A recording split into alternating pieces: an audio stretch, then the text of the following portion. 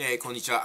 月収100万とかね働かずに毎日ブラブラと毎日日曜日で暮らすとかこんなんおよそ非常識だと思うんですよ。そして月収100万なんて一部の人しか行かないんでしょって未だに言ってますよね。でもその確率の低い方に行きたいと思ってるんじゃないですかね多くの方は。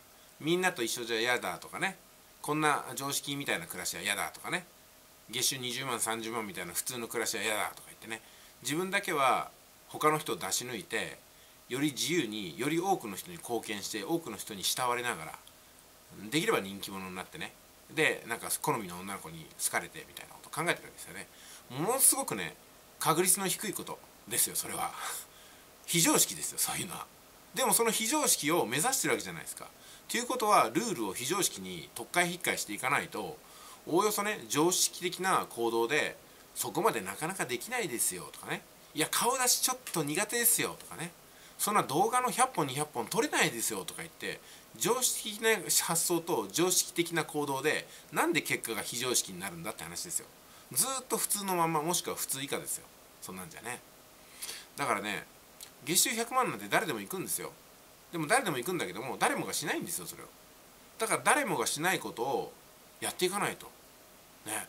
誰もができることを誰もがしないレベルでやっていったらそれは月収100万いきますよ。だって1000円の商品って売れるでしょ。それを100回繰り返したら10万でしょ。1000回繰り返したら100万じゃないですか。それでいいんじゃないですかね。じゃあ1000円の商品を1000回売ることで手間がかかるなと思ったらそれはね1万円の商品を100回売るに変更したらいいんですよ。そのために必要なのは1万円の商品を売るスキルじゃないですか。じゃあスキルってのはどうやって身につくか学べばいいんですよ。学んで経験することだと思いますよ、ね、で1000円のものを1000人に売るのそんなの無理じゃないかって言ったらインターネットで売ったら1000人にリーチすることはできますよ。1万人にリーチすることもできます。そしたら売れる可能性っていうかね打率じゃなくって絶対的打数が上がっていくわけですよ。そこが肝心なんじゃないですかね。あの100発100中で100人いたら100人の人に物を売るのはなかなか難しいですよ。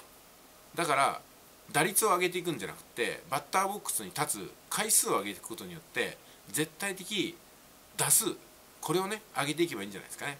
そして自分の力量とともに最初は月収が3000円だったものが月収3万になりね5万になり10万になりいつか100万ぐらいいくんじゃないですか。そのいつかをいつにするのかもうあなた次第ですよ。今日中にしたいのかそれとも10年後でいいのかどうですかね。でも10年後に月収100万になるとしても大いにやる価値あると思いますよ私は。10年かける価値はあると思います。月収100万ならね。じゃあ他のルートで10年後に月収100万の道ってありますかね。